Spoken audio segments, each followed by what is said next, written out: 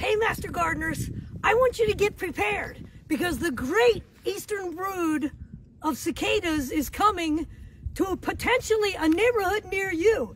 And now's the time to be thinking about what you need to prepare for. These were the same brood of uh, cicadas that came, it's called Brood 10. They came in 2004. So if the, you had them in your area in 2004, then they could be back to your neighborhood again. But keep in mind, it's not everybody's neighborhood. In the surrounding Baltimore area, we're going to have a, a, lot of the brood emerging.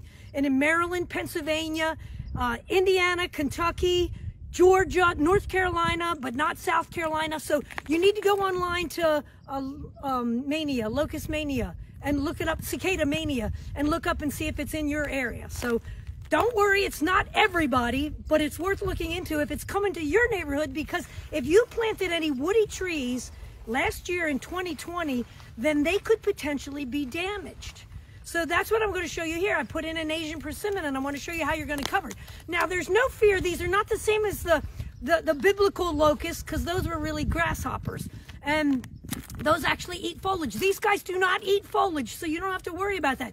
But during the egg laying process, the cicada makes a slit in the woody stems and puts a nest of eggs up into that slit. And then that egg is going to hatch and fall to the ground and be gone for another 17 years or so. So the only time that they're a problem is is five to six weeks during the mating and the egg laying in the branches of your tree. So mid-May is when you're going to be watching for them. You don't have to pack up and leave town. If you got a phobia, just stay in the house during those few weeks. It'll end. So come on over. Let's look at this tree.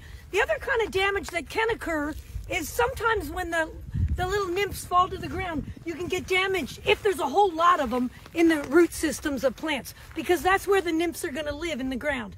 But only if that's a huge number in your area. So what do you do? You need to know that if you planted anything in 2020, you're going to need to protect it. And you don't want to be planting any new trees during 2021 until after we know that the, the insect has emerged and that you don't have them in your neighborhood. So you're going to purchase a product like a cloth like a row cover. This is what I'm going to use, just a fabric row cover. It's, as you can see, lightweight. It's blowing in the wind here. And here's my little persimmon tree. This is the diameter stems. These might be a little small. It's usually just little small trees that they damage because that female's going to cut little slits inside of this and lay her eggs up in there. And what happens then is that whole branch will break off and fall. And then the little baby eggs will hatch. They actually suck into the xylem tissue inside, which is the vascular tissue in your plant. And they feed in there for a little while and then they drop to the ground and they're gone for another 17 years. So don't flip out. The little guy's only around for a few weeks. So when the spring comes, I'm going to have leaves. This does not occur until after the leaves are out on your tree.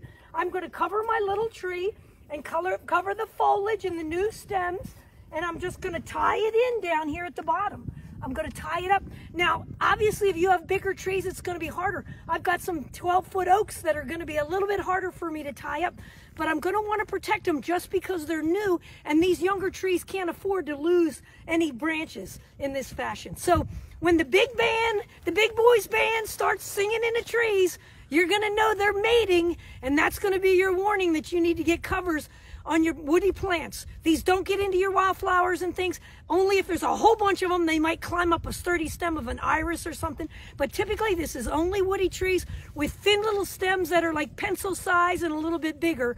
And later on, we'll be doing more videos on these. Meanwhile, get a hold of some fabric and be prepared for spring. Brood 10.